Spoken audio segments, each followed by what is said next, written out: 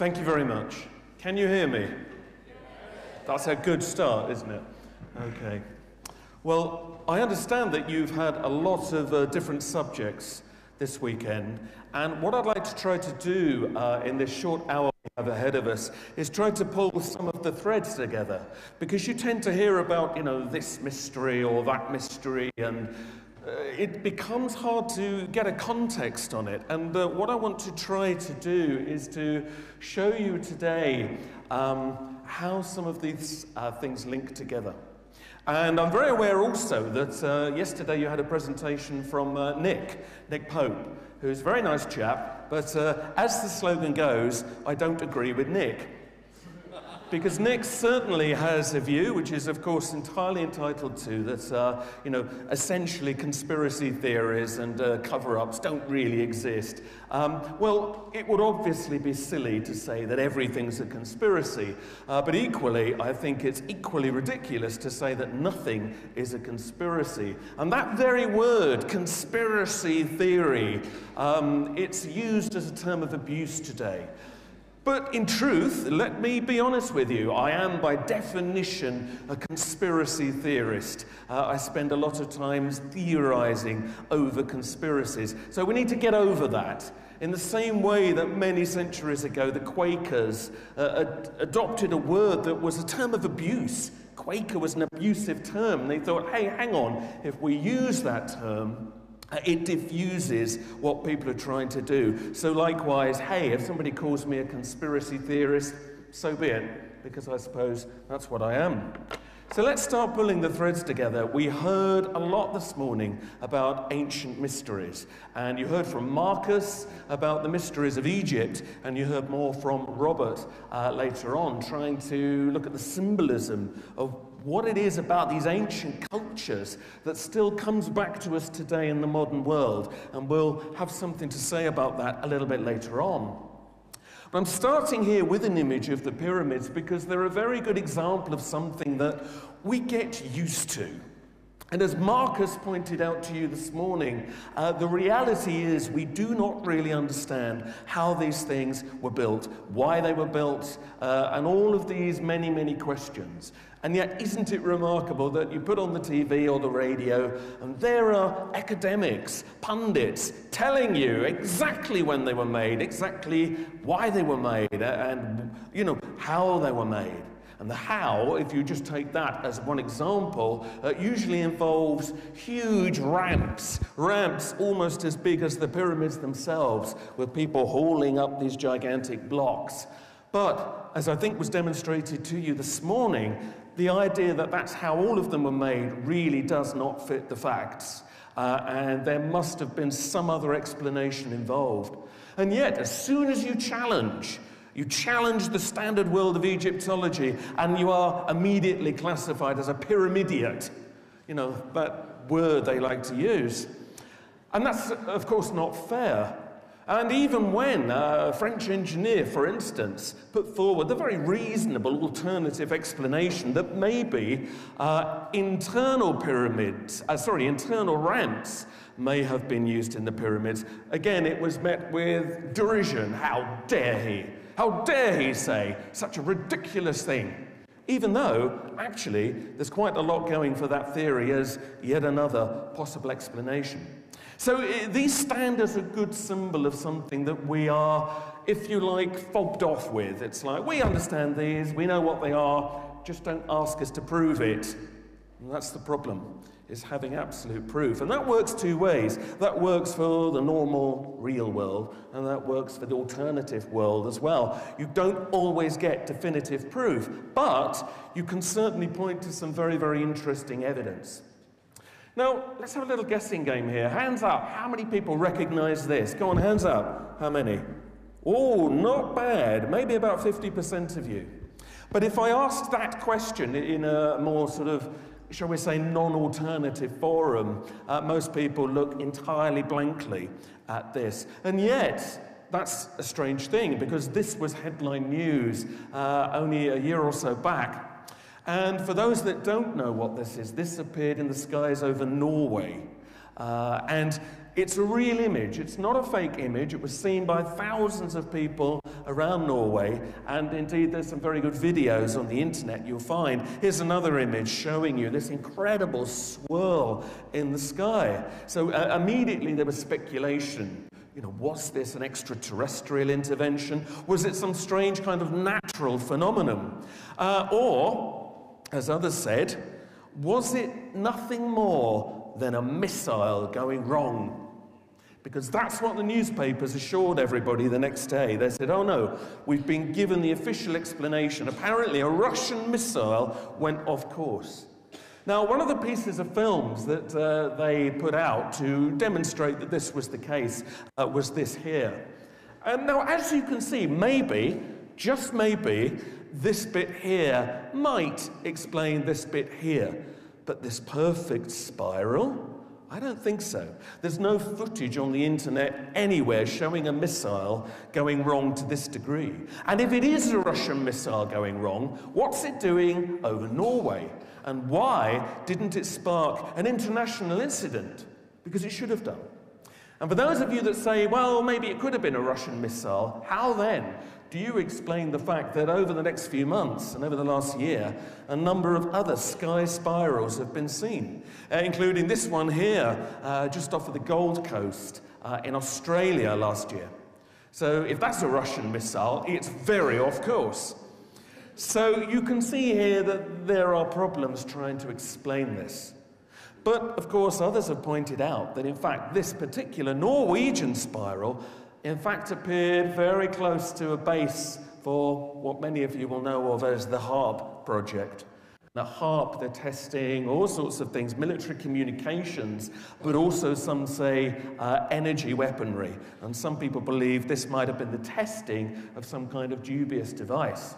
Well, we can't answer what this is today, but it's a good example of how some mysteries are in our faces. They're in the newspaper, they're on the television, and yet, what happens is very quickly we are reprogrammed. We are reprogrammed to think that it's nothing to consider, nothing to retain in our memories, and therefore people forget these strange things going on.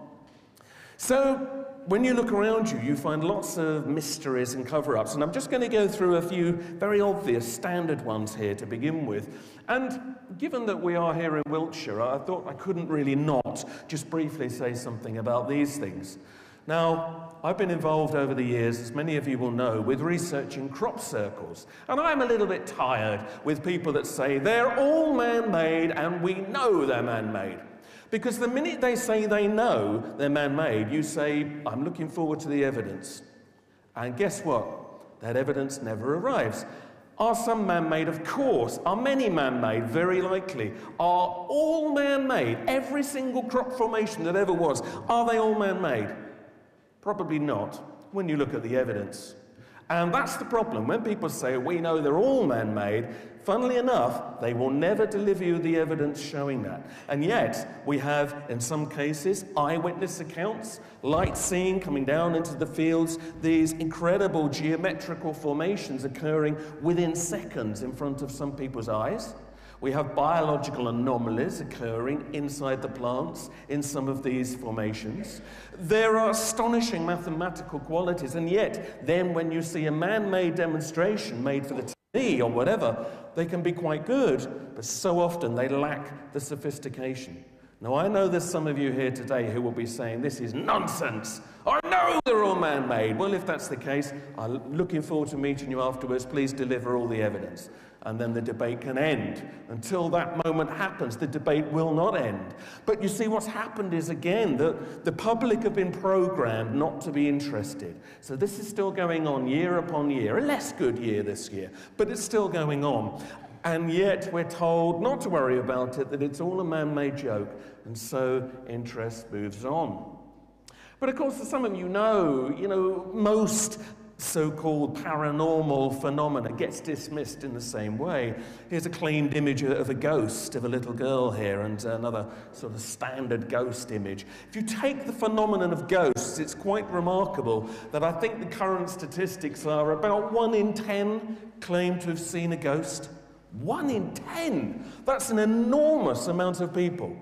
Okay? And yet you put on Radio 4 and you will be assured by the usual pundits that you hear there's no such thing as ghosts. Uh, and instead, we elevate people like Richard Dawkins to very high levels of uh, celebrity, who will, of course, tell you there's no such thing as ghosts, there's no such thing as astrology. And by the way, God doesn't exist either. Which is odd, because in fact, when you often look at the polls, the majority of people do believe in those things. And yet, the media does not reflect this. The media gives us a completely warped version of actually how most people think. And the problem is, even in the alternative world, we begin to think that that is a true reflection of the rest of the world. But I've found in my own lecturing to many normal groups, WI, Rotary clubs, whoever it may be, that's not the case. People are often far more open minded than you may think. Now, the ghost phenomenon, for instance, I mean, we're not going to settle that today, but there's enough evidence from credible eyewitnesses that something's going on. Some people, of course, believe these are spirits trapped between worlds. Others think that it's some strange piece of time replaying over and over. Maybe it is a mixture of the two of these things. But just to say they don't exist or it's all in one person's mind doesn't add up. Because often, many different people will see the same ghost in the same place at completely different times, not aware that anybody else has seen the same thing. So there's more important evidence out there than is ever reflected in the media. But the idea that maybe consciousness can exist outside of the flesh is, of course, something which uh, many people uh, consider is proven by other phenomena, not least the out of body experience. Anybody here has ever had an out of body experience or believes they have? Quite a few, quite a few. Well, you're not alone. And again and again, people report these experiences, often under general anesthetics. And they're on the operating table, and suddenly it's as if they've woken up, but they're not really awake. And they can see themselves lying down there on the slab, and they're going, What's going on? And they find that they can move around as a sort of a, you know, non-physical entity. And some people report being able to float into other rooms and see what's in there, seeing things up on the top of high shelves that they certainly couldn't have seen from down there on the slab.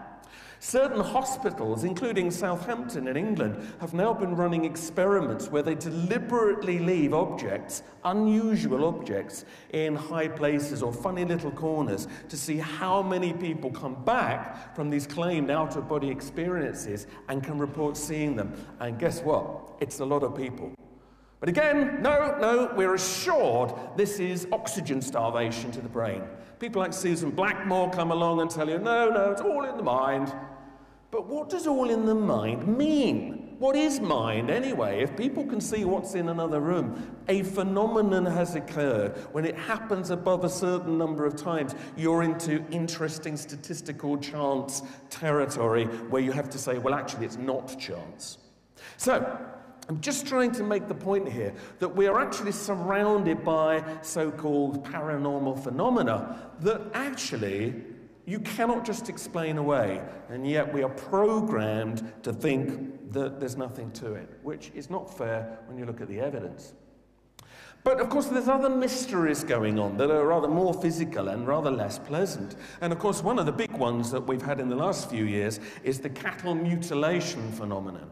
And I say last few years, it seems to have been going on for many decades where each year thousands of cases around the world are reported of these carcasses of animals, often cattle, actually not always cattle, and they're dead, but there's no obvious sign of a struggle, there's no blood everywhere, there's no tire tracks, and yet it's almost as if certain parts of their body have been removed almost with laser precision. Now, the skeptic view is it's just maggots eating the flesh and it just looks like that. And yet, there are so many cases where it's obvious something stranger has occurred.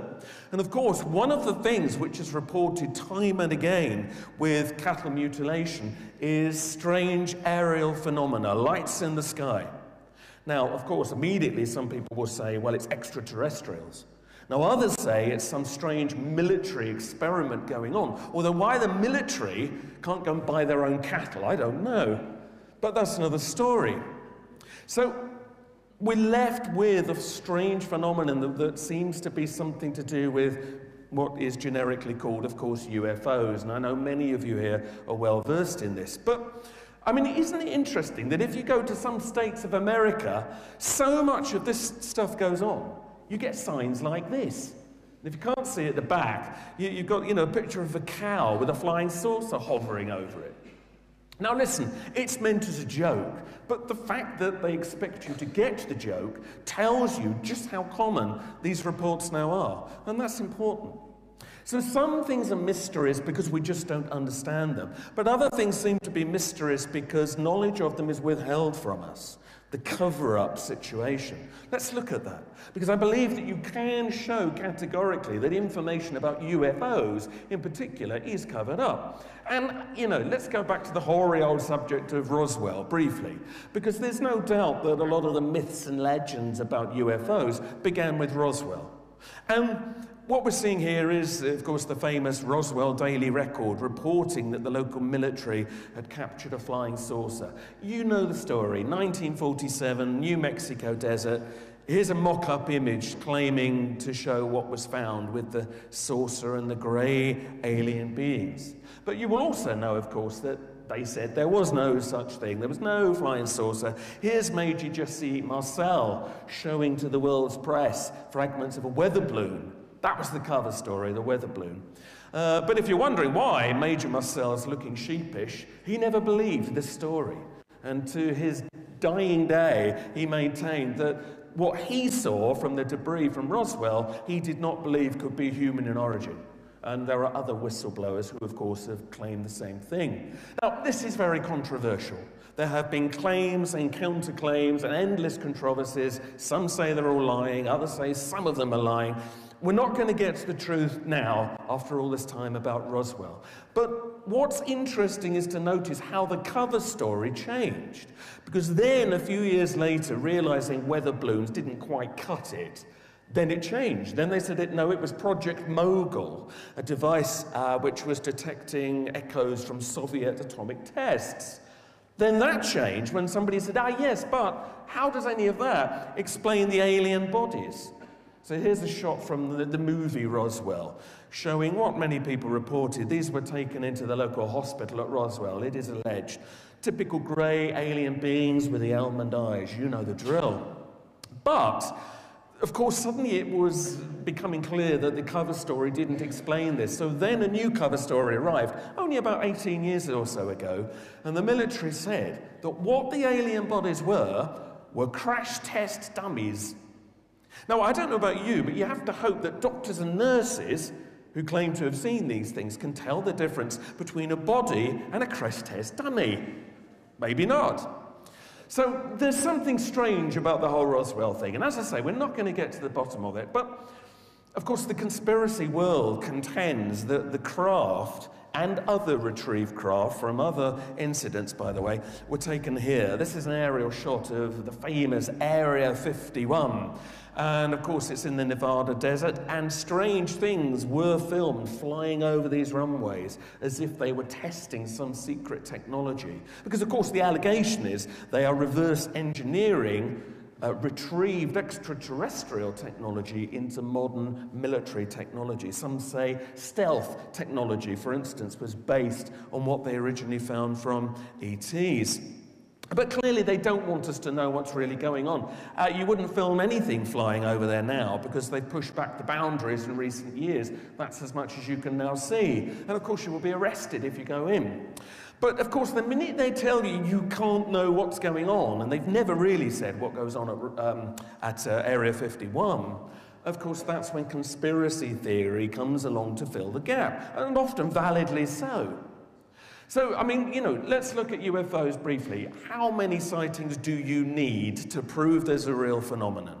Now, that doesn't prove where they're coming from, but those that say there's no such thing as UFOs are being nonsensical because you have so many high level uh, eyewitnesses. You have military personnel, commercial airline pilots, and many credible, uh, qualified citizens who see them. So let, let's forget this do they, don't they exist? Of course they exist. Something strange flies around in our airspace. But the question is, what are they? Because, of course, you can say that they are extraterrestrial, others say they are secret military projects. Maybe they are a hybrid of all of these things. But, you know, when you try to find out more, this is when it gets interesting. And, of course, people have tried to use the Freedom of Information Act to get documents released about UFOs. And the good news is, when forced, the documents do get released, but unfortunately, that's what you then get. Now, do you need any more evidence of a cover up? Because that is, in every literal sense of the word, a cover up in operation. Where, um, under the um, necessities of national security, they will tell you that you, you can't read this. But then you think, but if there's nothing going on, why do they need to cover it up? So, this is, of course, where we need to turn to civilian testimony to see if we can see what really is going on. And, of course, there have been many, many claimed encounters with ETs and UFOs over the years. Here's Betty and Barney Hill, one of the earliest of the famous so called alien abduction cases. And in 1961, in New York State, they claimed they were taken up on board a spaceship where they met beings uh, rather like this. Here's Betty years later with a model she made showing the creatures they claim they, they uh, met. Not dissimilar to all the other grey beings that we've had described over the years. Now, the problem with this is, is that, of course, it's, it's widely dismissed, of course, in the media, but then when people like John Mack, the Harvard psychiatry professor, now sadly no longer with us, when he, as a skeptic, decided to investigate an abduction and uh, regress people using hypnosis, he was shocked to find that out of the hundreds of people that he interviewed, he realized that even when you dismiss the fantasists and the liars, actually the majority of people did believe that these experiences had occurred. And he had to conclude that whether you said they were taking place on a realm of mind or physically taking place, nonetheless you have a real phenomenon. And that you need to look at the symbolism of these encounters and what is coming through the collective because repeated symbols, repeated themes were coming through from what people were reporting with their encounters of these beings. And this takes us on to the next stage of this presentation. Because one of the things these beings seem to like to do is to tell people what's going to happen in mankind's near future. And people like Billy Meier and John King and Whitley Strieber have claimed they were given visions of really large, big world events, which they then wrote down and many of them, they claim, have come true over the years. But one of the recurring themes of what these beings either say or telepathically transmit, it is alleged, is that our world is about to change enormously, and it's due to start happening about now. Now, this has been coming through for a long, long time. And of course, that's very interesting because that resonates with a number of other messages on similar themes that have been coming through. Here we see uh, Edgar Cayce, very well known medium and clairvoyant uh, from the early 20th century. And Cayce very accurately predicted a number of interesting events, like the Second World War, like the Wall Street crash, like the Cold War, the rise of communism. Now, he wasn't right about everything, but right about enough things to make you think he was onto something. And he was another one that said that either at the end of the 20th or the beginning of the 21st century, there will be a huge transformation of consciousness on this planet and big earth changing events. And of course, psychics and mediums have been coming forward with these kinds of claims for a long, long time. And that's when you have to think maybe there is something trying to speak to us through the collective here.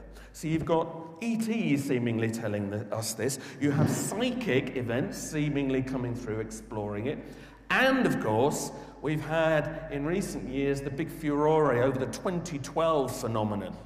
And for anybody left that doesn't know, of course, around the world, most famously the Maya, but not exclusively, Around the world, many ancient cultures have recorded this cycle of time, which is 5,125 years.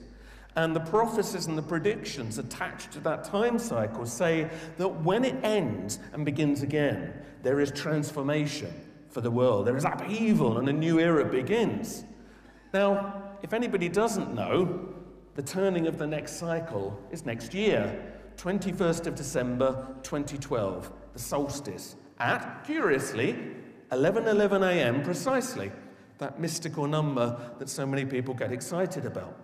So, when you then look at how many cultures had this same belief and this same time cycle, that's why you've got people expecting a huge change. Now, I think anybody expecting everything to happen on one day is probably being naive. I think it's about a time of change. I think, like many people, we're already in it. Look at recent events, the Arab uprisings, all the things going on around the world. Here, too, social unrest. It, the changes in the air. So I think we're already in it, and it's going to take decades. If you look at the astrology of 2012, and if you want to know more about that, speak to my partner Helen, who studied that. Even if you forget the prophecies, the astrology of the next few years, particularly here in England, is all one about people standing up for what they believe in, standing up against oppression, standing up against false authorities. And we're going to see a lot of clashes of this in the next few years. So, all of this is currently milling around in the collective, the expectation of change. But of course, we have another source of prophecy that some people try to link in with this, and that is religious prophecy. And obviously, you have the Bible, which is crammed full of things like the book of Revelation. But there are more modern religious prophecies that may have an interesting spin on this. Here, for instance, are the three children from Fatima in Portugal in 1917. And that was the um, site of one of the most famous so called apparitions of what seemed to be the biblical Virgin Mary. Now, these three children uh, had if you like, visions, but they were spoken visions too. This being said to them that they needed to give certain information to the Pope at the time, another Pope Benedict back then, curiously. And we'll talk about what that information was in a moment, but very reasonably, the children said, Well, nobody is going to believe us. So the being said, Fear not, if you bring as many people as you can to this place at this time, I will perform a miracle for you that will convince the world that what you're saying is true. Well, if you go to Fatima today, you'll see the cathedral window commemorating what was reported. On October the 17th, uh, uh, sorry, October the 13th, 1917. Thousands of people claim they witnessed what they believe to be the sun performing these extraordinary aerial acrobatics, throwing out colours, coming down like a falling leaf behind the horizon, back up again, very low over the people's heads.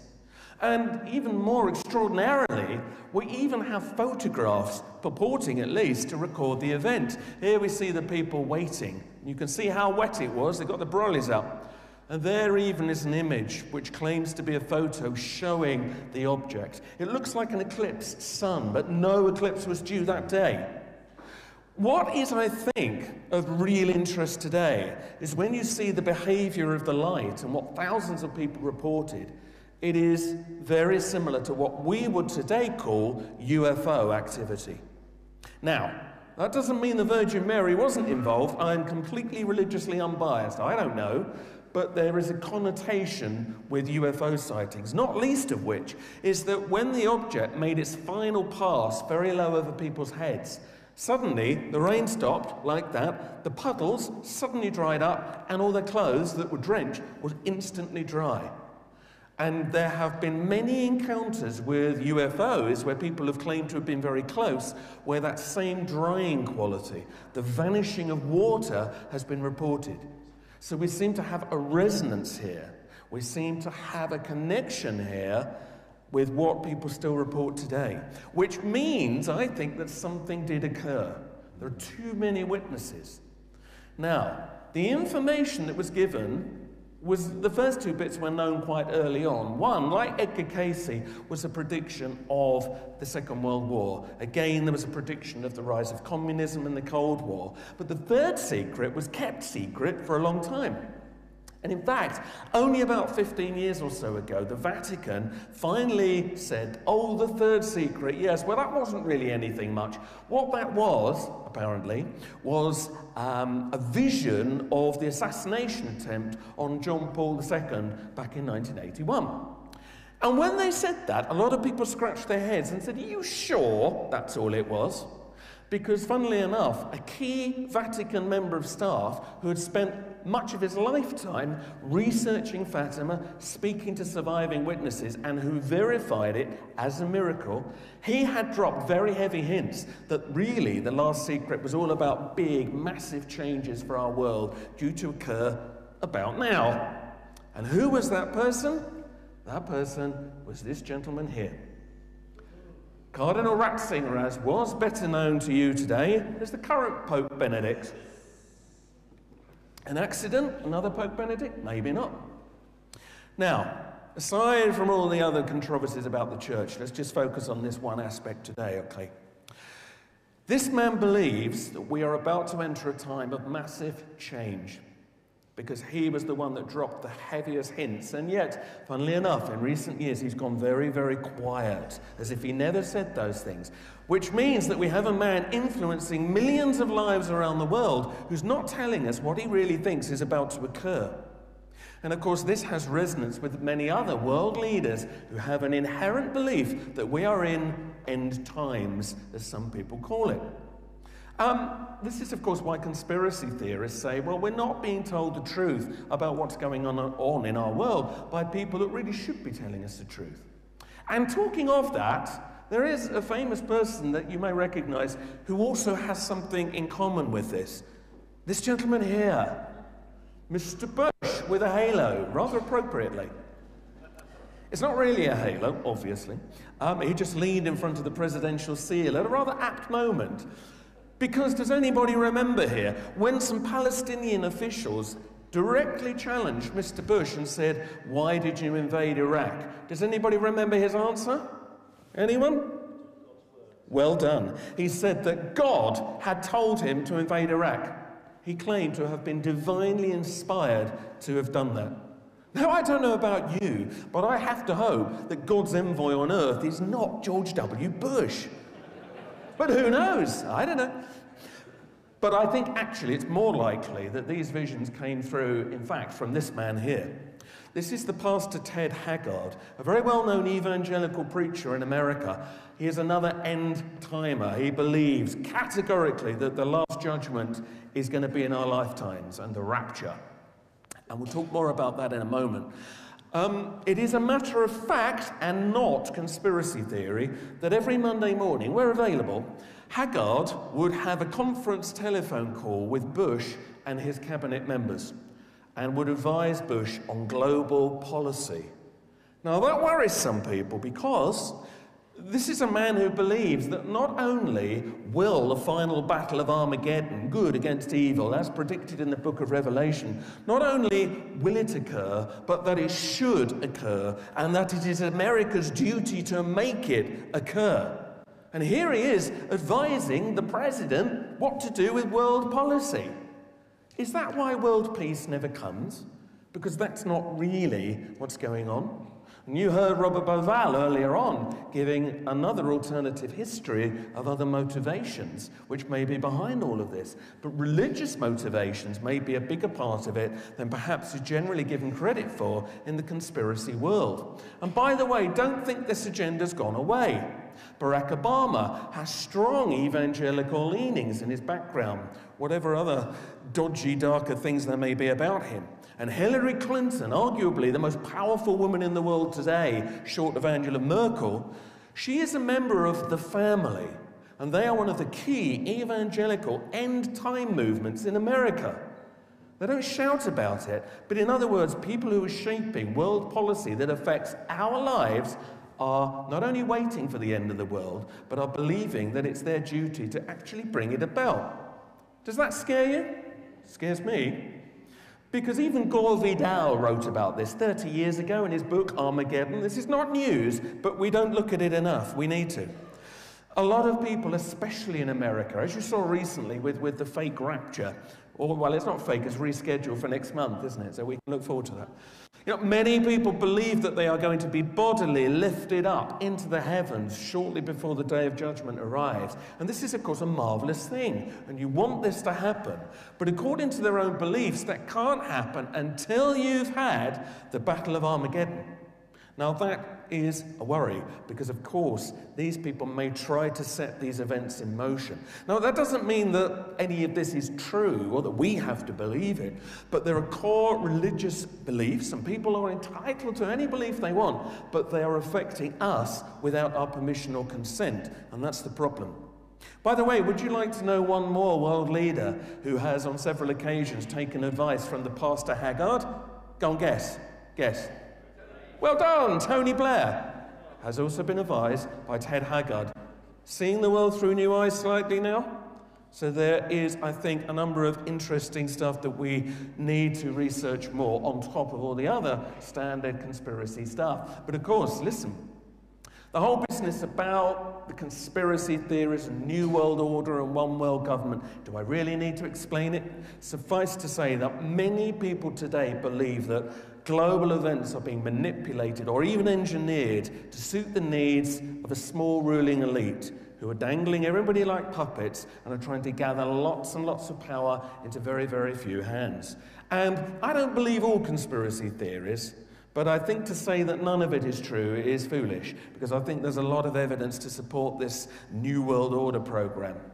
And of course, some say they are actually, you know, they're sponsoring wars. They are triggering terrorist atrocities. They are triggering economic crashes because it creates the mandate for this one world government, these Orwellian superstates that so many people have been worrying about for so long. And of course, some see the EU as a step towards that. Others are worried about the development of the Amero, that when the dollar crashes, the Canada, Mexico, and the United States will go under one currency. And ditto, if the euro crashes, these are actually maybe uh, planned steps towards greater unification. Okay, and listen to the language. When they're talking about the euro at the moment, a number of high level politicians have said, well, the problem is that we've got too many sovereign countries fighting for their own needs instead of working together.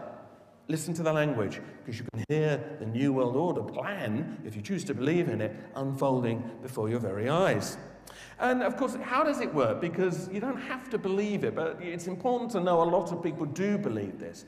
And people believe what's going on at the moment is A, you need to create fear. We must be kept fearful, whether it be through the war on terror and terrorism, whether it be through fear of immigrants and foreigners. That's an old one, that always goes on. Uh, and of course, recently, fear of poverty. You know, fear of no money is a big one. We are giving in to austerity measures that we would never give in to if we weren't afraid. And some say the whole economic business, as I've just said to you, is being manipulated. And whether you believe in it or not, another thing that's been used hugely to create fear is, of course, global warming. Now, if you choose to believe in global warming, fine. But even if you do, it's been completely misused to generate fear and terror and bring in more control. Because that, of course, is what this is really about. But as most of you will know, in fact, many people simply do not accept the global warming model. But let's not go into all that today. So, when we're fearful, what do we do? And this is not news, many of you know this, but let's just remind ourselves. The first thing we do is give in to distraction we beg for distractions. We fill our heads with rubbish, watching the telly. We fill our bodies with rubbish and chemicals and aspartame and terrible things. We are eh, transfixed by materialism, shopping. Nice things are offered. And the media distracts us with ridiculous stories like Star 8, my hamster, is nothing. Don't believe me? Go to Smith's tomorrow. Look at the shelves. Look at the mind rot that is being targeted at people. It's unbelievable. Try to find a, a decent magazine to read, you're struggling. Okay? It's distraction of the worst kind. And it leaves us apathetic, it leaves us in a state of sort of mindlessness. Now, not everybody's like that, thank goodness, but too many are, and now is the time to wake them up. Because while they are fearful and they're looking for distraction, in under the covers, of course, comes the control. And as we've seen with the riots recently, you know, you've got people begging for more control. Some, of course, think the riots themselves were allowed to happen. Some say the police were deliberately held back on that first night because then they've been able to bring in all the kinds of controls we're now used to. And in the last few years, we have heavier policing in this country, more surveillance cameras than any other country in the world, even though it's not just an English problem. You know, body scanners that show you wobbly bits at airports, if you've got any wobbly bits. Um, because we're afraid. You don't want to be blown up on a plane, of course. So we give in to restrictions that then go beyond the call of duty. And health and safety, of course, has been massively abused, uh, as you well know. And then the ultimate solutions are offered. And the big one coming round the corner is, of course, microchipping. The microchipping of humanity. This is old hat to some of you, but you'd be amazed how many people are not aware that already police forces platoons are having microchips put in them. They're ID tags, but what else are they doing? Uh, this is a cat, by the way, with a microchip in it. We're already microchipping our pets. Um, we're all next. And of course, the problem is that the idea is that eventually this will regulate anything. If you want to go shopping, you'll need it. If you want to go to a public space or use public transport, you'll need it. What happens if a dubious regime comes to power that doesn't like you? They could switch it off. You'd become a non person. You would be a social pariah. It would make life very hard. It would be a very good way to keep you under the thumb. And of course, if you believe it's a tracking device or even a mind control device, as some have said, you probably won't want one stuck in your arm. But this is the way the world is going. And when they're afraid, people beg for it. But this isn't new. Most of you know this man. Remember David Icke? Well, of course you remember him. But remember 20 years ago, okay? David Icke was a well known TV presenter back then, and then, of course, he started to go public with his so called New Age beliefs, and he started to talk about all this kind of stuff. You look back 20 years ago to what he was saying, it's uncanny. He got so much of this right what would happen with various wars around the world, the war on terror, the microchipping. He was saying this a long time ago. Others too, of course. But Icke said it publicly, and for that was vilified and attacked, of course, as you well know. And many people still believe this man was on the ball. The problem some have, however, of course, with Icke is that he also has extreme beliefs which some people struggle with. And not least of the one is that his belief is that this ruling elite actually is maintained by a bloodline that's gone through the ages, which is essentially extraterrestrial in origin, which, now some people can accept that, but what some people don't accept is that the head of the ruling elite is the British royal family, who are in fact shape-shifting lizards. No, I can't say this isn't true, nor can I say it is true. But what is interesting is how many people do believe this.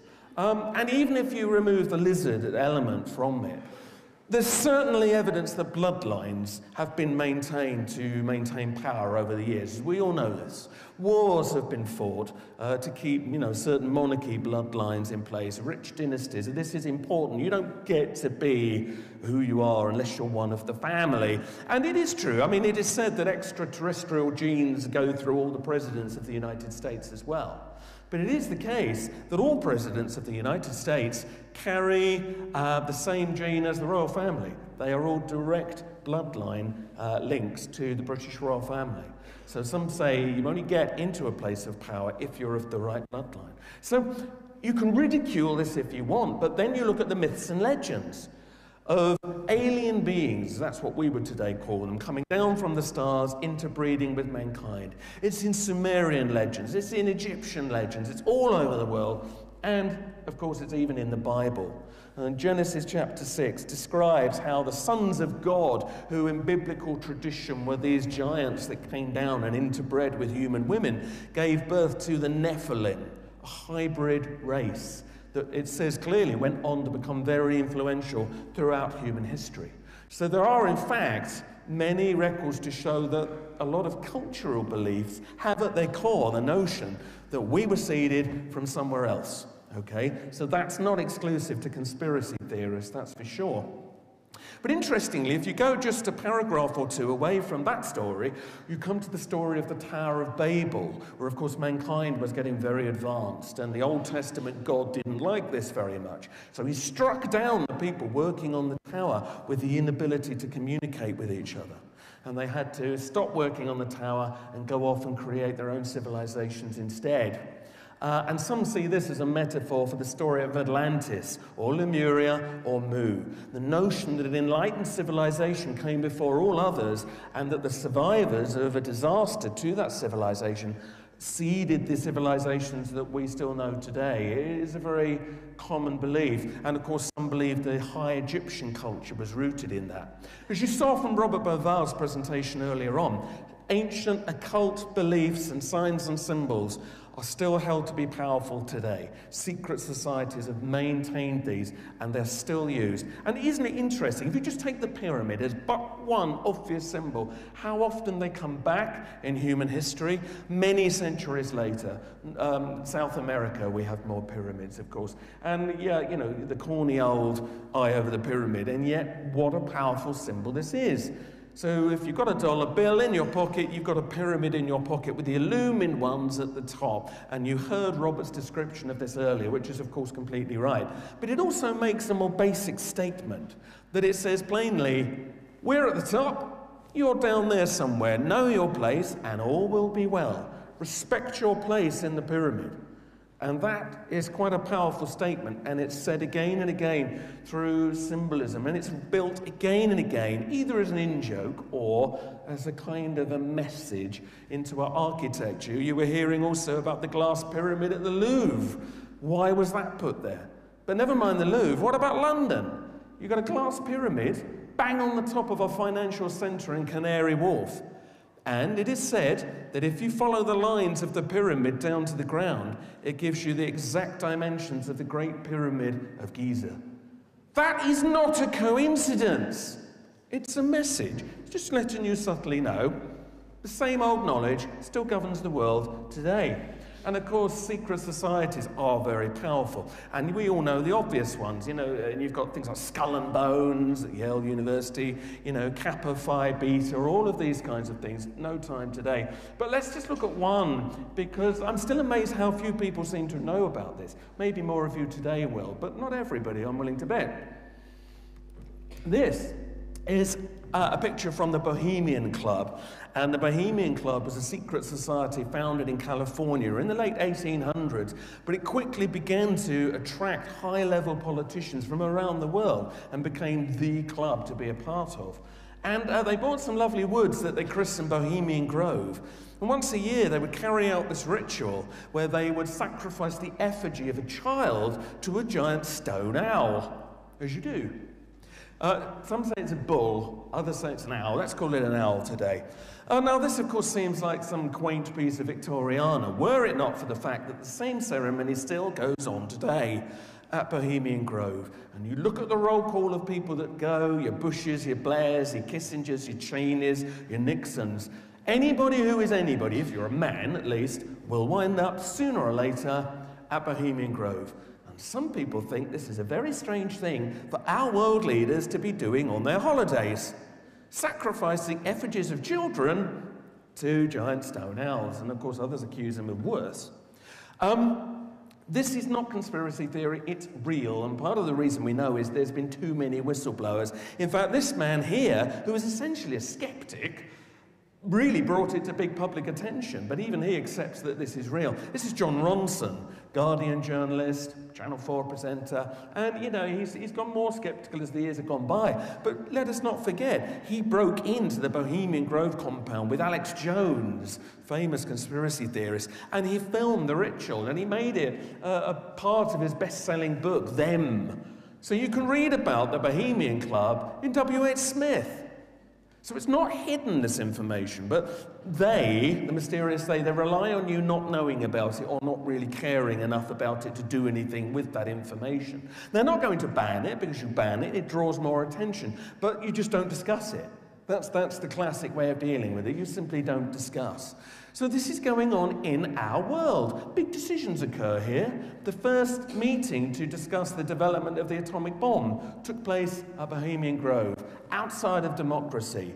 People are not comfortable with this. In fact, most of the big decisions seem to be made outside of democratic principles. This is where real power lies. You know them the Bilderberg Group, the Trilateral Commission, the Tavistock Institute, the Club of Rome, the Council of Foreign Relations. This is where real power resides. Big decisions get made here that affect our lives, and yet we have no say. We have no say. And what they decide is then filtered down to our parliaments, to our illusions of democracy. And of course, this is where people say this isn't right.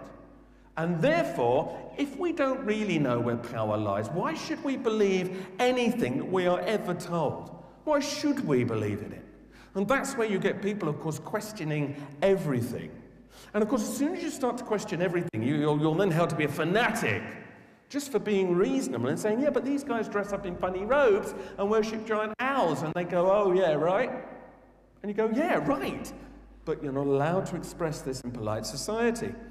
And so you get all kinds of conspiracy theories. But when you just, I mean, I'm going to take this one as an example. And there are people in this room better qualified than I to talk about it, but very briefly.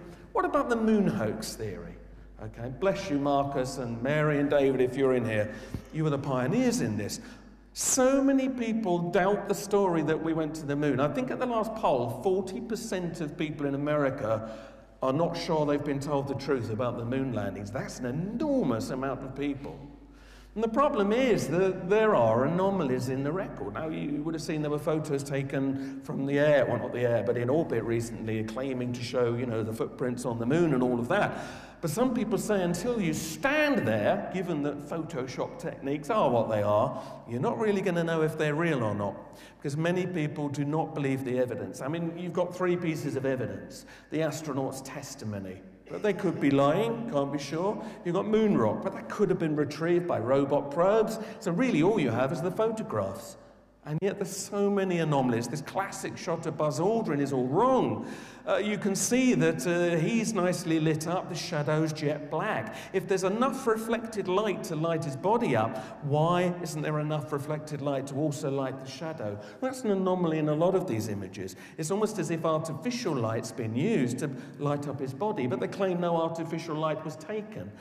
And others say, why is it there's such a bright spot to his side there? when it falls off into shadow in the distance and shadow in the foreground. It's like a spotlight. Many people claim these were taken using spotlights in studio conditions, of course. The horizon is wrong. It's been clearly demonstrated that this horizon really ought to be through his middle because it was taken allegedly by Neil Armstrong, who you can see in the reflection with a camera on his chest, as indeed many of these images were taken. Uh, and as Marcus has pointed out so many times, uh, you know, how many perfect pictures are you really going to get going click, click, click, click? Okay? Uh, and then you come home and suddenly you've got perfect shots. Taking them like that, I really do doubt that that is possible. There are so many anomalies, and I'm going to whiz through them today because we are short on time. What I just want to say here is this that when you start to look at the fact that there isn't even any dust on the feet of the craft, and yet you look at the recent Phoenix Mars lander, which shows what you would more expect it does certainly seem as if at least some of these pictures were taken in studio conditions, okay? But I want to wish through because there's something more important I really want to share with you. Um, by the way, if you really struggle to believe NASA would ever fake an image, look at this. Here's Michael Collins spacewalking from the Gemini craft until somebody then later found this photograph in the NASA records of Michael Collins in a test aeroplane. It's the same image. They've cut him out, stuck him on a black background, and said, Look, hey, he's in space. Hallelujah. So we are lied to. If you want more, look at the Aulis website. Look at the Jack White studies, especially, or indeed read Dark Moon or One Small Step. We're not told the truth. We know we're not told the truth about things. This happened only a couple of weeks ago. Um, the fall of Tripoli. These images were transmitted claiming to be live from Green Square in Tripoli until somebody said, Hang on, that's not a Libyan flag, and these people look more sort of Indian than Libyan. And people realized, Oh, this is from India. There's the Indian flag, there's the Libyan flag. Spot the difference. And yet, this was broadcast as live, purporting to show you what was going on in Libya. It was a distortion, it was programming to make you think Gaddafi had already had it when he hadn't. We know we're programmed, we know we're lied to. Weapons of mass destruction. Need I say more? David Kelly. Need I say more? If you believe David Kelly really committed suicide, for God's sake, read Norman Baker's book, The Strange Death of Dr. Kelly. Everyone knows, in the core of cause, Kelly was murdered because we needed to go to war. We needed the New World Order plans for the war on terror, Afghanistan, Iraq. I believe that Nick Pope was saying to you yesterday there are no serious grounds for believing 9 11 was a conspiracy. Sorry, that is not true. There are so many good grounds for believing that we have not been told the truth of 9 11. Thank you. And to say there's no evidence is simply to blind yourself to the evidence. I'm so short on time, but you know most of it. So many anomalies. The hole in the Pentagon is just too small for a 767. Some say it was a small plane, some say it was a missile. There's no definitive evidence it was a 767. Um, this was the totally anomalous route that the plane took into the Pentagon. It should have broken up in the air.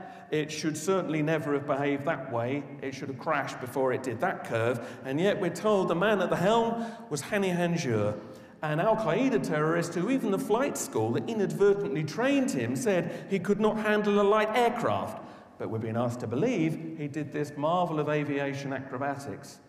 The Twin Towers, there's no time today. Is it true that fire and damage brought them down alone? It cannot be true. There is evidence again and again and again that explosives were used in these buildings. There's the Twin Towers compared to demolition squibs seen there. And when you start to see the film, you see these explosions going off at levels that cannot be anything to do with what's going on up here. They're falling at free fall speed. Nothing can be getting down there. No pressure wave, no air, nothing. These are explosions. People in the towers, firemen, rescue workers said there were explosives going on inside these towers. Look how far down some of these explosions are. Serious qualified professionals are saying this is controlled demolition. And, and this last piece of footage here says it all. Look at where these explosions are.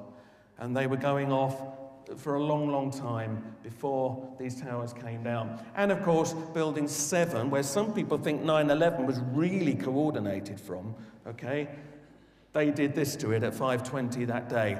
We are told that this building collapsed down like a house of cards, a steel frame 47 building, uh, because of a fire that small. How stupid do they think we are? The BBC conspiracy farce is lying. They omitted all of the important evidence the other day. The BBC Three programme is a complete joke. When they debunk 9 11 conspiracies, they only do it by omitting the key evidence, okay? And when you look at the footage of 7 coming down, again, you see explosives going off down the side there. You also have people like this William Rodriguez, the janitor of the North Tower. He witnessed the first explosion in the basement 30 seconds before the first plane hit. Guess what? None of that was included in the 9 11 Commission final report. There's no time. I've got probably no time, but I've got just two minutes, Malcolm. Bear with me. I just want to finish. There are so many questions. For God's sake, go away and find out. Do not be fobbed off by those who say there was no conspiracy, but you have to see the evidence and read it for yourself, okay? There is so much evidence out there. If you read one book, find any book by David Ray Griffin as a starter. And you don't have to agree with all his beliefs, but his observations about 9 11 are utterly, utterly impeccable. Was bin Laden involved with 9 11? Maybe, but if he was, absolutely. Somebody within military intelligence, traitors within America, must have helped this to be as successful as it was. And it gave them the mandate for the wars that the New World Order has long wanted. It gave them the mandate for all the controls and surveillance that we were talking about earlier on. And many of these people, when you boil it down, seem to have strong occult beliefs. Are you putting the pieces together yet? Go back to the beginning of this talk. And this is how I want to round this up. You saw that there are many prophecies and predictions that these times are times of change. Well, not only is that a change in consciousness through social shift and social unrest, there are other things that may play a part. Go and look at what NASA is saying about the sun. NASA again and again is putting out warnings. The sun is about to put out a huge solar flare. And if it happens to be headed towards us at the wrong moment, it could send us back to medieval times, bang, by knocking out the world's electrics. This is not fringe science, this is NASA saying we need to be really, really cautious of the sun. Many people believe the whole New World Order exercise of control is to make sure that if some massive event occurs, that they are ready so that the old order is not turned over. Because they want to stay in control. And it's possible that the 2012 time cycle of the ancients was based around observing wider solar cycles and other cycles, okay? But the good news of all of this is this. Many people also believe that an electromagnetic pulse wave from the sun may be the very thing that rewrites our DNA, that raises us to that new state of consciousness that all the prophecies say will result after the initial upheaval. And there's the good news, because experiments by people like Rick Strassman and Michael Persinger show when you expose the brain to electromagnetic waves, it changes our whole nature. We start to produce natural dimethyltryptamine, which, of course, I understand Graham Hancock was speaking here about yesterday. And if you want to know more about mind power, okay, check out the Global Consciousness Project that shows that the more people that think in a certain direction at the same time, it generates a field. It actually can change the workings of computers, which means that what we think does change the world. And that's not enough. You've got to go out there and spread the word as well about things that you're concerned about. But we have a chance here. We have an opportunity here because the world is changing anyway. And maybe if there's anything to all the things I've just discussed here, we are about to see an even bigger change. Be ready. Be ready physically, having a few bottles of water and food around, just in case there is a big solar flare or an economic crash, might be quite wise, but also be ready inside yourself and in the way that you live your lives. Because some people think that then we get through and then you become part of the solution and part of the creation of the next step of evolution and not the problem. And that is what goes before us today. And cheap advert. I can't say much to you today. I've had to rush. If you want to know more, have a look at the Truth Agenda. There's some copies at the back table there. It's on the Nexus store as well, because I've had to rush through a lot of stuff. But I hope what I've done here is draw some threads together to make you see maybe how some of this sits together. And also, so that when you go out of here today, you realize that what you've learned here this weekend can be used to make a difference. Don't waste it. Thank you very much indeed for listening. Thank you so much. Thank you. Thank you. Thank you. Thank you. Thank you.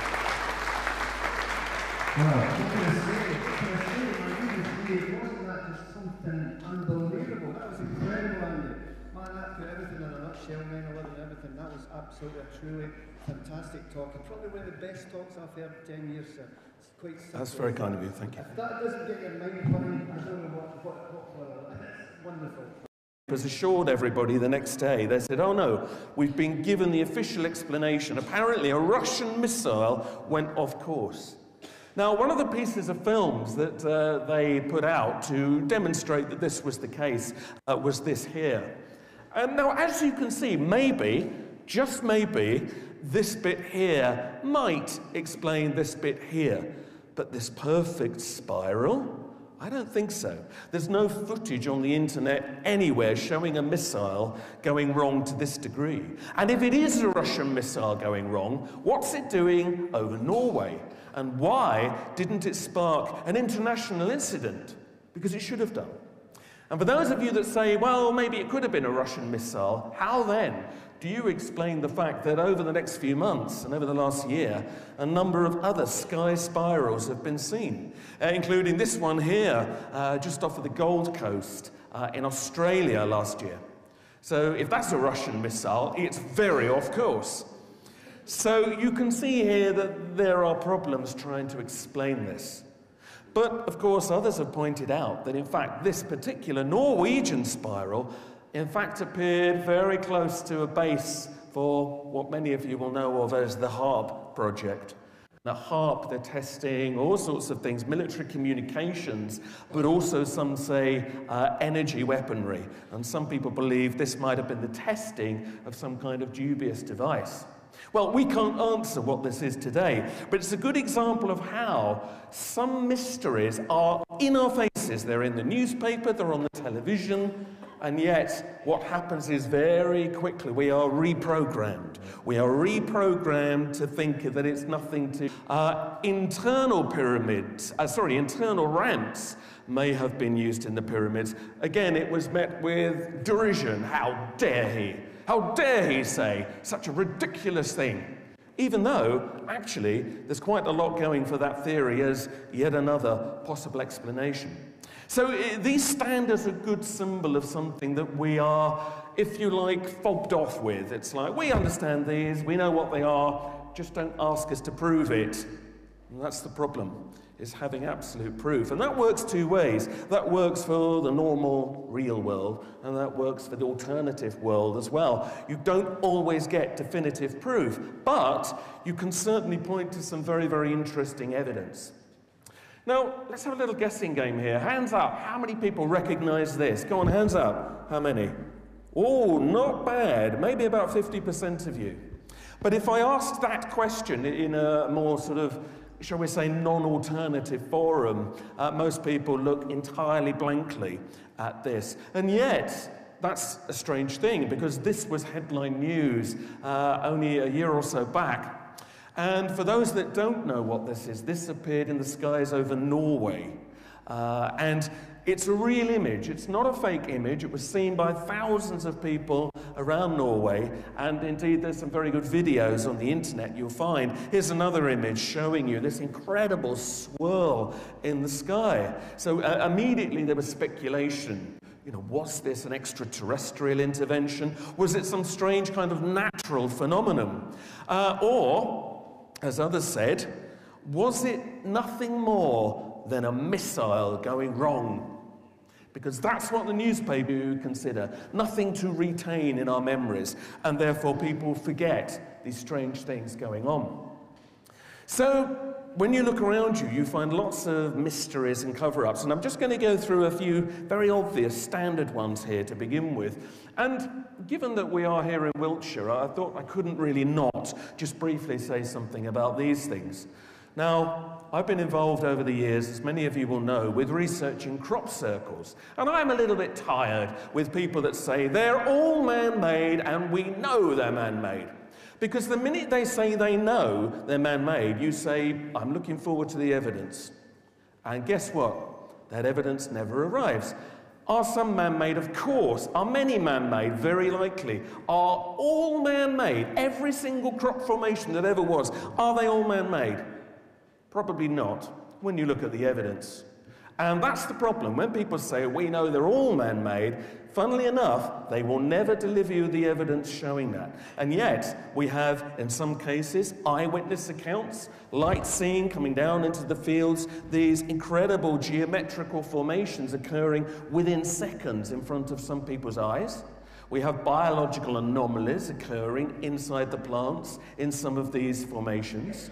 There are astonishing mathematical qualities, and yet, then when you see a man made demonstration made for the TV or whatever, they can be quite good, but so often they lack the sophistication. Now, I know there's some of you here today who will be saying, This is nonsense. I know they're all man made. Well, if that's the case, I'm looking forward to meeting you afterwards. Please deliver all the evidence and then the debate can end. Until that moment happens, the debate will not end. But you see, what's happened is again that the